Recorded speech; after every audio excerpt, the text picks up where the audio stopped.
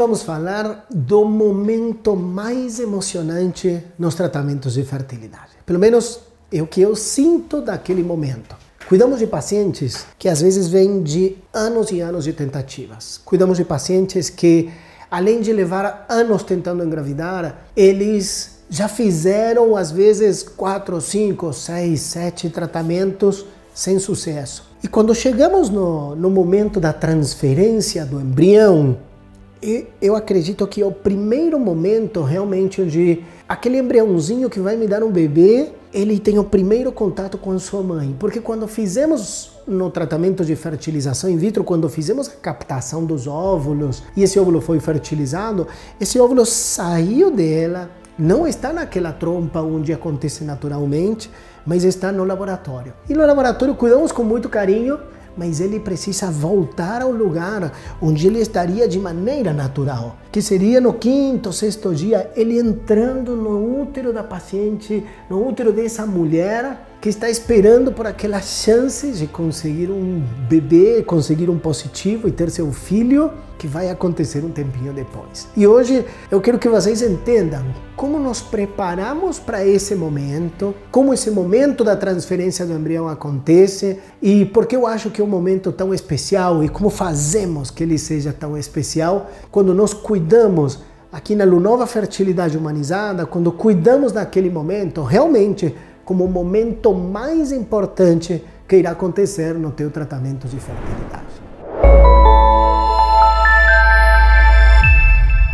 E se pensamos na, na natureza, no natural, e como sempre digo, nós tentamos fazer exatamente igual, só com ajuda nos momentos que você precisa. Ajuda no momento de conseguir os óvulos e fertilizar esses óvulos e que o embrião esteja conosco crescendo, desenvolvendo e escolher o melhor. O que aconteceria de maneira natural da ovulação, enquanto você tem esses 14, 15 dias até ovular, para que o embrião comece a crescer, naturalmente você tem um, o teu útero que está recebendo aqueles hormônios e esses hormônios naturais do teu folículo crescendo são eles os que fazem que se, o útero se prepare e cresça aquela camada que eu digo é como se fosse um gramado que começa a crescer, se preparando para que aquela sementinha possa chegar naquele momento e se fixar, que seria teu embrião. Então, aqueles primeiros dias, eles são dias de crescimento do endométrio. E eu preciso também acompanhar e ver que esse endométrio, ver que esse útero esteja pronto. E o que está pronto é o quê? A camadinha dentro do útero que cresceu com uma espessura ideal, normalmente perto dos 6 milímetros, 7 milímetros, 8 milímetros, mas a partir dos 6 milímetros nós já transferimos tranquilos e sabemos que a chance de gravidez ela é igual dali para frente. Claro que cada caso terá seu detalhe e nós agora vamos ver como fazemos isto se é que você precisa de alguma ajuda. Mas naturalmente ele estaria com uma espessura ideal porque o folículo estaria grande. E quando que ele fica bom? Só no finalzinho, perto da ovulação. Então não temos que nos preocupar por um endométrio que está mais fino. Muitas pacientes fazem um ultrassom no, no começo ou no meio da primeira, nas primeiras semanas. Essa primeira semana você tem que ter um endométrio fininho. Por quê? Porque o folículo é pequeno, então ele não estará muito espesso. Não preciso me preocupar se o endométrio é fino no primeiro controle que leva os 5 a 7 dias. Esse endométrio tem que crescer e estar pronto quando? No décimo, décimo segundo, décimo terceiro, décimo quarto dia do teu ciclo é quando eu realmente esperaria que esse endométrio, esse, esse gramado que está dentro, essa camadinha, ele esteja com uma espessura ótima ideal.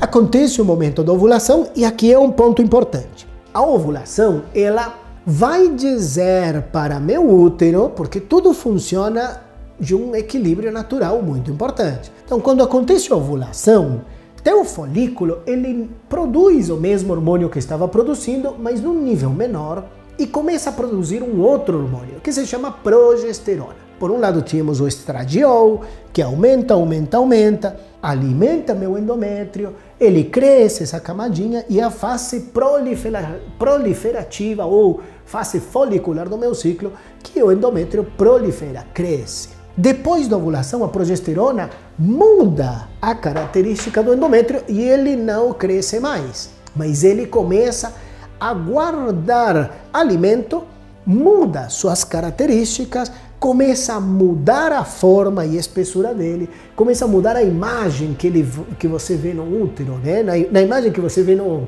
eh, no ultrassom. Então, o que está acontecendo? Se nós tivermos uma ovulação, teu útero ele já está programado para que dentro de 5 a 7 dias chegue um embrião, como se fosse de maneira natural. Então eu posso transferir em qualquer momento meu embrião? Não. Júlio, mas então posso menstruar na semana seguinte já coloco o embrião? Não. Nós vamos deixar o embrião 5 a 7 dias depois da ovulação. Na verdade, Falou 5 a 7, porque existem alguns detalhes que se eu sei que hoje você está começando a tua ovulação, eu marco 7 dias para colocar o embriãozinho. E se eu confirmei que você já ovulou, ou seja, fiz ultrassom, você ovulou hoje, ontem não tinha ovulado, hoje ovulou, quer dizer que eu tenho hoje a fertilização natural e daqui a cinco dias completos eu terei a chegada daquele embrião. Como meu embrião, ele pode ter sido feito no mesmo momento que eu fiz a captação, ele chegará cinco dias depois. Eu captei hoje, então esse óvulo saiu hoje na captação, na aspiração dos óvulos, né? E cinco dias completos, um dia conto amanhã aquele crescimento embrionário que vimos no ciclo na, na, semana passada no nosso vídeo de captação e depois de crescimento dos embriões, que foi o desenvolvimento dos embriões, vocês aprenderam e quem não viu esse vídeo, volta nos outros vídeos e assista. Vocês vão ver como tem dia a dia esse desenvolvimento. Muito, muito importante que vocês assistam esse vídeo se você ainda não chegou nessa fase, para entender como foi a evolução. Mas muito bem, se fiz uma fertilização in vitro, começo a contar no dia que eu fiz a captação, cinco dias depois eu faço a transferência. Se eu estou preparando meu útero porque meus embriões não foram transferidos no mesmo mês, senão eu deixei eles congelados, eu posso contar 5 a 7 dias. Isso nós vamos decidir durante o preparo, dependendo da maneira que estamos preparando, nós vamos te orientar. Então, voltando no momento da ovulação, que o folículo saiu, começa a produzir progesterona. E se eu estou simulando um ciclo natural, simulando quer dizer que estou usando medicamentos, esse sinal pode ser artificial ou pode ser natural. Natural, teu útero vai entender Olha, faz cinco dias que temos progesterona, deve estar chegando o embrião. E seria naquele momento no qual a gente colocaria esse embrião e já estamos da ovulação mais, mais cinco dias. E acontece que dez dias depois, ou nove daquele momento, eu teria um teste de gravidez. Mas vamos entender agora como funciona isso se a gente congelou nos embriões, que hoje no Brasil praticamente no mundo, é o mais frequente. Existem sim momentos nos quais a gente precisa transferir esses embriões. Apenas fiz a captação dos óvulos com cinco dias, em alguns lugares ainda transferem com três dias. Hoje nós temos a prática de transferir após cinco dias ou congelar os embriões e transferir num próximo ciclo para evitar o momento da captação, hormônios diferentes, o foco fazer que seja em outro momento, focando 100% no cuidado do útero e não me preocupo tanto pelos embriões, eh, pelos óvulos, pelos folículos e etc. Então vamos entender agora como funciona o preparo do útero quando eu congelei meus embriões. Existem várias maneiras de fazer isto. Uma seria de maneira natural. Quando nós temos o ciclo natural, quando que ele pode ser feito? Em mulheres que estão perto da clínica, por exemplo, por quê? Porque se eu preciso mudar, meu ciclo natural foi um pouco mais curto, meu ciclo natural eu ovulei um pouquinho antes, eu consigo logisticamente fazer essa transferência um pouco antes, um pouco depois. Quando você está morando muito longe, hoje é muito frequente e quase a metade de nossas pacientes não moram aqui na cidade de Campinas ou no estado de São Paulo, às vezes moram fora do estado, elas têm uma programação que inclui viagens, passagens e às vezes pacientes de fora do país que vão vir estritamente para essa transferência. Naqueles casos, a gente não pode contar com um ciclo natural e também mulheres de mais idade que têm ciclos muito irregulares depois dos 40, é muito mais difícil conseguir que no ciclo natural consigamos fazer. O ciclo natural, o preparo no ciclo natural, ele é muito bom, muito eficiente e o menos agressivo para paciente, mas às vezes precisa de mais controles e também às vezes temos maiores chances de cancelamento. E por isso que nas pacientes que estão um pouquinho mais longe, que têm uma logística mais complexa, vamos tentar diminuir os riscos de qualquer tipo de eh, chance de cancelamento e vamos cuidar com os hormônios que são idênticos ao hormônio natural por via transdérmica, por exemplo. Mas também existe a possibilidade de que esse hormônio seja dado via oral ou também injetar. Nós tem, temos a tendência a utilizar o que é o mais parecido com o hormônio natural. E este seria os medicamentos transdérmicos. É como se fosse um gel que ele vai simular que você está com um folículo crescendo durante uma semana, 10 dias, onde faremos um primeiro controle. E agora, me preocupam os folículos? Os folículos checamos, mas não é nosso foco principal. O foco principal é a espessura do endométrio. Quando essa espessura do endométrio chega a 6, 7 milímetros, pelo menos, nós vamos já dizer, olha, nosso endométrio, nossa camadinha de dentro do útero já tem espessura suficiente. Então podemos começar a utilizar o que? Lembram que a ovulação é quando o folículo sai, libera o óvulo e começa a produzir progesterona. Cheguei no momento certo, liberamos o óvulo. Desta maneira, de, quando usamos o medicamento, eu não terei essa liberação do óvulo natural, mas sim a progesterona que ele aconteceria pelo uso de medicamentos também. Ali sim nós vamos usar medicamentos que são injetáveis, principalmente usamos cápsulas via vaginais ou também via oral sempre temos todas essas três vias. Sempre tentamos usar a que seja mais similar ao natural, porque quanto mais parecido com a natureza, maior chance de que a gente tenha um resultado melhor e melhor qualidade para receber até o teu embrião.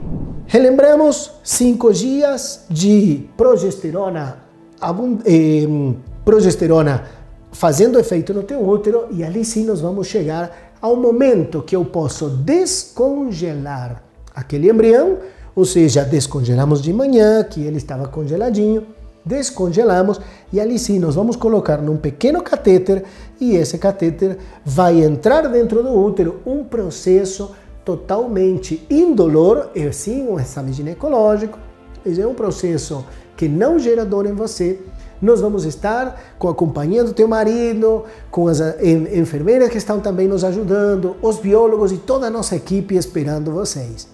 Deixamos o embriãozinho e esse embriãozinho, ele, esse aqui é um embriãozinho real que ele está saindo dessa casquinha. E quando ele sair dessa casquinha, ele busca ter aquela comunicação com o endométrio, que seria essa pequena camada. Essas células são as que vão ter essa comunicação e com essa comunicação vão se fixar. E aqui de quem depende?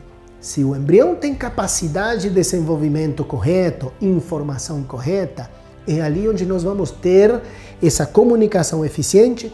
O endométrio abraça esse embrião e ele começa a, o processo de aderência, de adesão, e aqui invasão, que é quando já começa o embriãozinho a fazer o que se chama trofoblasto, que vai ser a futura placenta que vai nos dar essa implantação. E às vezes é aqui onde acontece um pequeno sangramento que chamamos o sangramento da implantação. Doutor Júlio, mas tem mulheres que têm e tem mulheres que não. Nós não gostamos de sangramento, mas às vezes ele é um bom sinal. Se você não tem esse sangramento, melhor ainda, porque nós queremos que você tenha uma gravidez sem nenhum pequeno eh, sangramento, porque às vezes ele pode assustar também, mas na maioria das vezes ele pode sim ser a implantação. E este momento ele tem algumas coisas que nós vamos precisar cuidar, tem alguns acompanhamentos que nós vamos fazer juntos, como por exemplo, uma nutrição adequada é importante, acupuntura que podemos complementar antes e depois, a suplementação específica guiada para esse momento também é importantíssima. Relembrando que esse embriãozinho que estou deixando hoje, ele terá nove meses vivendo dentro de você. Se você está muito bem com alimentação, nutrição, com tudo isso, ele será um embriãozinho com maiores chances de ter todo o ambiente perfeito para uma ótima evolução. E aqui é importante também saber que a vida depois da transferência é uma vida o mais saudável possível, o que não inclui repouso. Não há indicação de repouso nem, de modificações da tua atividade física. Claro, não farei eh, não farei emagrecimento, não farei um treino para minha ultramaratona, mas uma corrida podemos fazer, atividade física também, eh, academia sem exageros também. Todas as atividades físicas elas estão associadas a melhores resultados Claro que tudo de maneira moderada, sem exageros, mas posso dirigir, subir escadas, posso fazer, posso andar de bicicleta, posso fazer uma pequena corrida.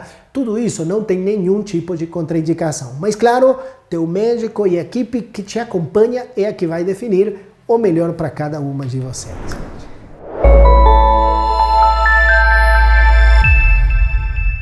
E este momento, ele é um momento que nós consideramos o melhor momento do tratamento de fertilidade. Esse momento é o momento onde eu deixo aquele esforço que às vezes demora meses e meses e toda aquela expectativa, a seleção de embriões. Às vezes demoramos mais do que uma captação para chegar nesse momento, se temos uma dificuldade de quantidade, por exemplo. Então, para a gente, é um momento muito, muito especial. É um momento no qual toda a nossa equipe está cuidando de vocês para que ele seja um momento especial e que você esteja muito bem preparada para receber teu embrião e depois desse momento chegar ao positivo e que você tenha teu bebê.